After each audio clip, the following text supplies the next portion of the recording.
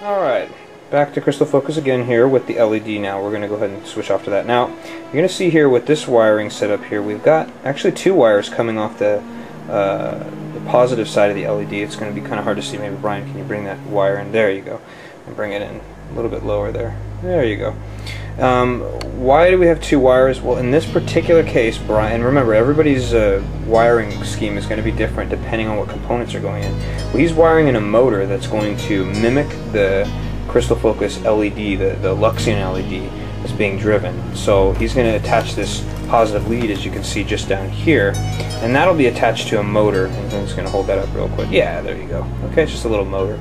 So, um, you know, we need to add a resistor and all that later, but the whole point is, again, plan your wiring. That's really the real key. So before we even get ready to attach this quick disconnect over here um, for the LED and the heatsink, we added this extra leg to make sure that the motor would be uh, all set up. Okay, so he's going to go ahead and pre-tin some of these wires. Uh, you've seen some of that before, um, and I'll let Brian take it from there. So again, he grabs a soldering iron. He's going to get a little solder on the iron. And there you go. I'll just get some of these wires tinned up a little bit. Okay. I'll probably cut a little bit back here so that you guys can see it once those wires are attached. Because you can obviously know that we're going to be attaching these wires in here to the Luxeon contacts which are just down below there see where the coil is, the uh, copper coil, and I'll attach there. Okay, so we'll cut out of that come on back. Okay, so these wires are now pre-tinned, and you'll see down here that he's just going to touch the positive uh, lead on uh, for the LED. And again, with this soldering, it doesn't take very much. You just need to get the solder to melt a little bit, and it'll flow, and the wires will be nice and strong and connected. And again, he'll just kind of test it by giving a little tug on the wire. It doesn't have to be super hard, but he just wants to feel that, yeah, if this went under a little bit of strain, that it'd be okay. And then we'll proceed with the negative. So if you can get that one in there. Again, like I said with this video, we're trying to show as much as we can so you can see where they actually go. And again, he's going to pretend that um, the soldering iron, or I should just say, you know, gets a little solder on there. That really helps your soldering, so don't ever just try to take your iron from being 100% clean and then put together pre-tinned wire. That's good and all, but you want a little solder on the iron. It will help everything flow. Okay, so there you go. Now moving to these other connections. Of course, this is to get the quick disconnect. I'm just kind of zoom out here um, so you can see what he's doing. There's that positive lead again that he's got sort of the wires are, I guess the best way to say it is they're wide together. Not wide like long, but Y is in the, the letter. He's kind of made a Y connection for that other lead to go back to a motor some other time and it's basically again going to be mimicking the uh, current from the Luxeon. Um, you do not want the motor to share the negative lead with the Luxeon, um, um, only the positive. Alright, so there he goes with soldering in together the Y connector here. Why? Because he wants a motor in there later. I know that was cheesy, but what?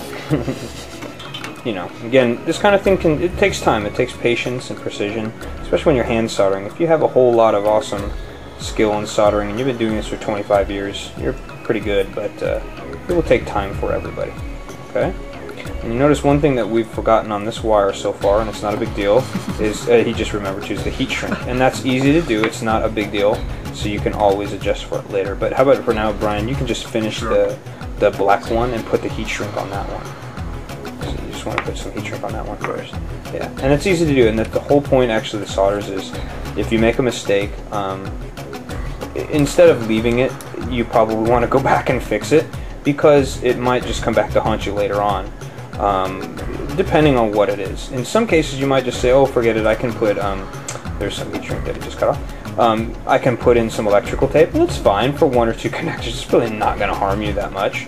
But um, you know, if it's a really important one and you, you think it's going to short out somewhere, try to cover it. Okay, that's a very important thing to do is cover all of the places where you think um, the wires could short out or whatever. Okay.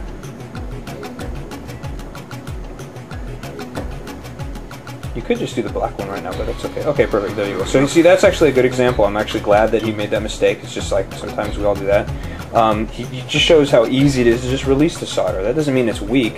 It just means that's the whole idea is you can release the solder just as easily as you can uh, put it together. Um, also with the coloring, it doesn't matter what color the heat shrink is as long as you know what the wires are doing. Um, that kind of brings me to while he's doing some of these things. You can use whatever colored wire you like if you're able to pick up different color uh, wire in a store that you like or whatever. You can use uh, whatever color heat shrink you like. Maybe it will signal to you that it's a certain uh, thing. Maybe it's a switch. Maybe it's a, there you go, there's a good solder.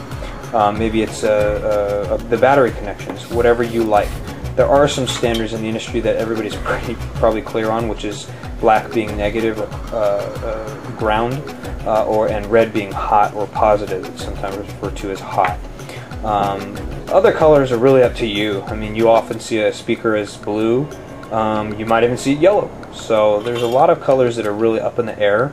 But again, it's what makes sense to you. If you are making some professional project, well, like uh, Crystal Focus, and you can see that Erv has shown some wiring guides on, he'll often mark things with colors so that you can tell more easily in the uh, uh, in the PDFs and all that stuff. Okay, so there you go. Some more strong connections. Then you can just slide up the heat shrink, grab the uh, lighter. I'm trying to find where the heck is that thing. There it is. And then he can uh, heat those guys up. Okay. And after this, we won't really show um, quite as much as all of the different trials and tribulations that you'll have going from each wire because it just takes too, too much time and it's a lot of repetitive stuff that you'll see. But essentially, we'll show you, okay, here's the next wires being soldered on here. Here's the heat shrink going again. Perfect. And then yet another one. There you go. You can see how that stuff shrinks down. Excellent. Okay.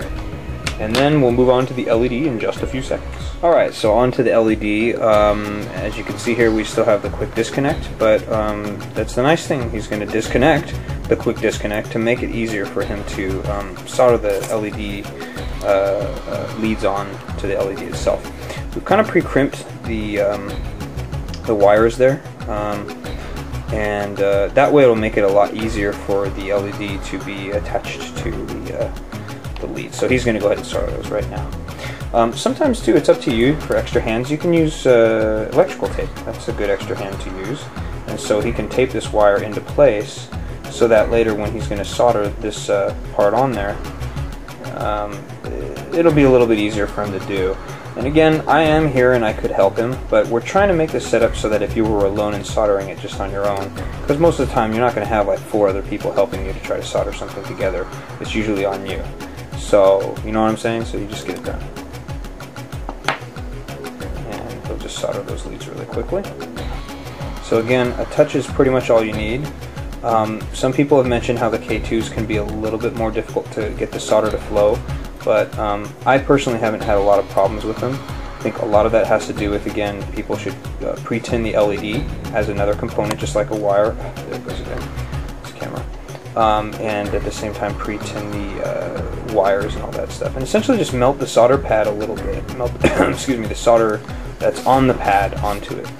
Um, as you'll note, the K2s don't tend to come, that I've noticed, with uh, the solder pads all covered with uh, solder. Only these uh, main two ones that the legs that actually come from the LED go to. You can see here, now that I've zoomed in on it and he's got them on there, good job. Okay, so one quick thing that we can do, of course, and this is just good to do, is once you even have it on the heatsink, you might as well test your LED. Now, over here we have a 3.6 volt uh, lithium ion battery. Um, so that's a pretty good voltage to test and we can do this directly to the LED because this LED down here is a Luxeon K2 green. So he's just going to go ahead and touch the leads to it. Again, you don't have to do anything fancy. You just touch positive negative.